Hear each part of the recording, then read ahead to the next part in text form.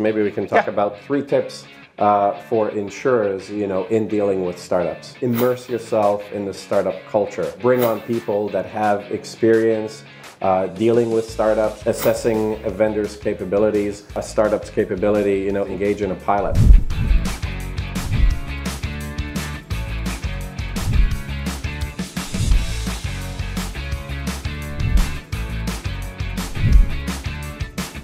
Hey guys, uh, we are here today with Philippe from Slice. Philippe has been working in the insurance industry at large carriers, but also at startups. Working with a startup, it's a very different uh, pace. So startups don't have necessarily the amount of time to work at the traditional pace or the resources. Um, so what I'd like to do is maybe we can talk Yeah. about three tips uh, for insurers, you know, in dealing with startups. Number one, The first one I'll say is immerse yourself in the startup culture. Uh, you know, and there, there's multiple ways to do this. You know, I would say go to Silicon Valley, go visit, you know, the tech giants, go visit startups, you know, in, in the Valley. Uh, more specifically here in the UK and Europe, you know, visit, you know, the InsurTech hubs.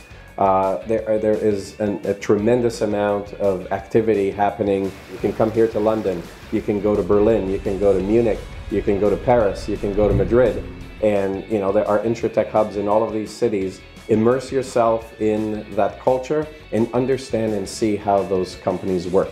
number two, The second tip I would say is, is you know the people that you bring in and that you have within uh, your company, your firm, and, and the people that you put in charge of dealing with the startups. Ideally, you would have people that perhaps you know ran a startup, have worked in a startup, sold a startup to an insurance company, and now you have these people within your team that understand the pace at which a startup needs to work, but also the culture of a startup because you know we have the culture of an insurance company and then the culture of a startup. You know, how do you bridge the two together? And it's the people that are going to make the difference. number three, The third point I would say is really look at how you engage with startups. Uh, you know, the reality is startups have, you know, uh, in some cases, a limited amount of resources. And as a result, you know, every project, that engagement with you is very significant. So quickly, uh, we need to assess, you know, is, is this going to be a fit? Is this going to work or not?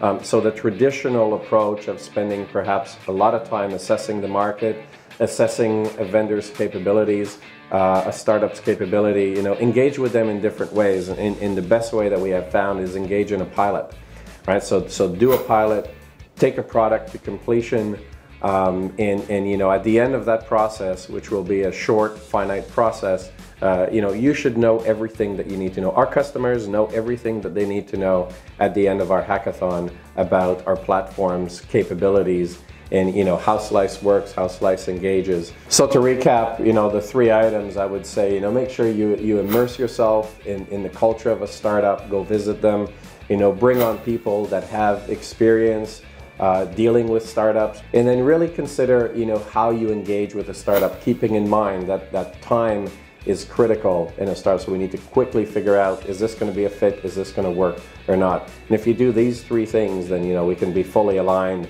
in doing great things for the insurance industry. If you want to test this out, come visit our office. We've got a one of these hackathon centers in Toronto, but you know, uh, insurers have come visited us in New York and Toronto and London, and then you know we can facilitate these types of sessions where you really understand you know how we work, how we engage, and the type of people that we have.